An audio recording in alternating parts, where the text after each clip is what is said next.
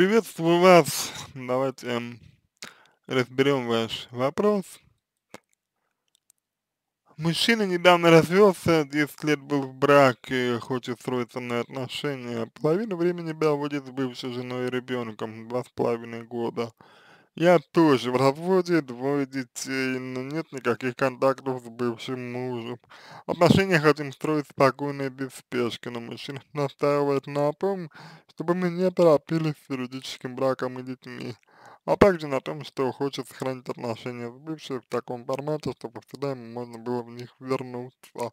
Обосновывает это страхом остаться совсем одному. Меня пугает такая постановка вопроса, потому что непонятно, зачем тогда мы вместе. Говорит, чтобы попробовать построить семью. Вопрос. Такое ощущение, что при каждом удобном неудобном случае он не будет бороться за наши отношения, а будет сливаться в прошлое. Это мои комплексы или он не знает, чего хочет. Нет, мужчина как раз таки знает, чего хочет аноним, он совершенно четко об этом говорит, и в этом плане, в общем-то, я бы на самом деле э, здесь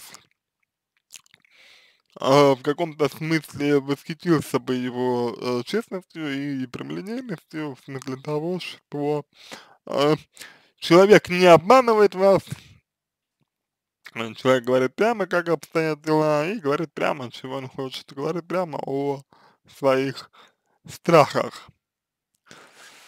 А это, в принципе, здорово. Другой вопрос, что для него это не проблема.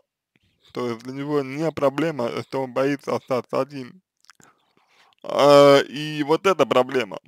Потому что если для человека это не проблема, то он, в общем-то, будет а, убежден а, в том, что поступает правильно. И вам необходимо будет с этим считаться. Дальше. Естественно, вы вольны выбирать э, сами, что приемлемо для вас, а что нет. Вот. То есть, ну, приемлемо для вас, если он общается с бывшей женой, ну, встречайтесь, пробуйте. Неприемлемо для вас, ну, значит, скорее всего, вам не по пути. Потому что доказывать мужчине, что он неправ, бесполезно. Но вот если человек не считает проблемой, что он боится одиночества, то он, само собой, будет стараться подстелить себе соломку на случай, если э, между вами что-то не получится. А, насчет комплексов, я бы не сказал, что речь здесь идет а, о комплексах, по крайней мере ваших. А, но я бы сказал, что меня смущает а, ваша фраза относительно того, что он будет бороться за наши отношения. Вот. То есть, как бы, вот это вот меня смущает. Потому что, ну, что значит бороться? Бороться за наши отношения. Я не очень понимаю, за что бороться. То есть, как бы, ну, можно бороться за человека, да? Но опять же, против кого? Можно бороться за себя, но опять же, против кого? То есть, вот это непонятно. То есть, у меня здесь такое ощущение, что вы хотите, хотите гарантии а, дело не в том, что вы не можете, не можете их хотеть, а дело больше в том, что эти, гара эти гарантии а, вы можете получить только сами. То есть вы сами их можете получить, получить. И все. Больше вам никто их не даст. Гарантии, я имею в виду. Поэтому, на мой взгляд, если вы хотите гарантии, то вам, ну, ну, не подходит такой вариант, где мужчина пытается себя защитить. То есть, как бы для кого-то это не важно. Э, видите ли, эм, кто-то, и в том числе я, а, считает, что человек может в любой момент уйти. В любой момент может слиться в прошлое. Неважно, есть у него бывшая жена, нет у него бывшей жены, есть у него бывший муж, нет у него, у него бывшего мужа. Слиться в прошлое можно при желании, если человек почувствовал, что не хочет больше быть с вами. А вы же здесь пытаетесь как-то гарантировать, чтобы он был с вами. Я понимаю, как это выглядит, что постоянно бывшая жена и так далее. И поэтому здесь именно история про то, приемлемо для вас это или нет, с точки зрения ваших ценностей.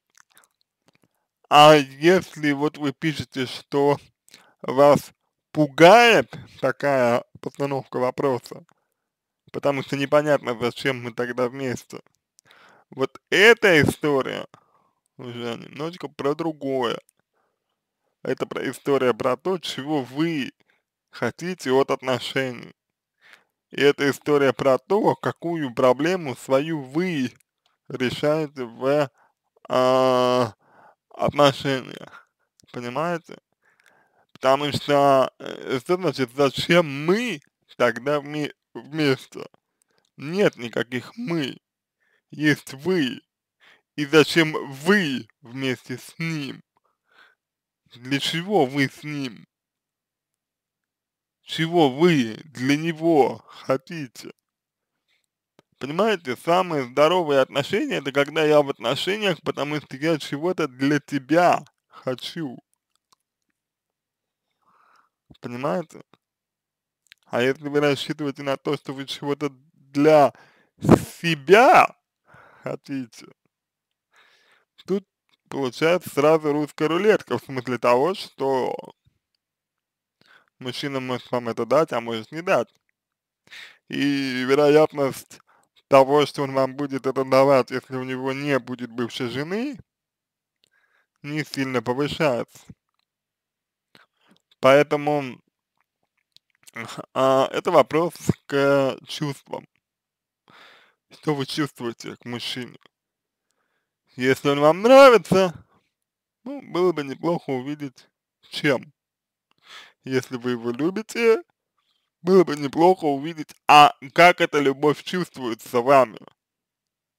Если это больше договорная история, то здесь да, Здесь как бы при наличии договора, конечно, имеет смысл, на мой взгляд, требовать, ну, каких-то комфортных условий. Вот. Так что такие вот дела но если вас пугает, то работать нужно со страхом в первую очередь. Вот как-то так. На этом все. А, надеюсь, что помог вам. Буду благодарен за обратную связь по моему ответу. Это позволит вам начать над собой работу Желаю вам всего доброго.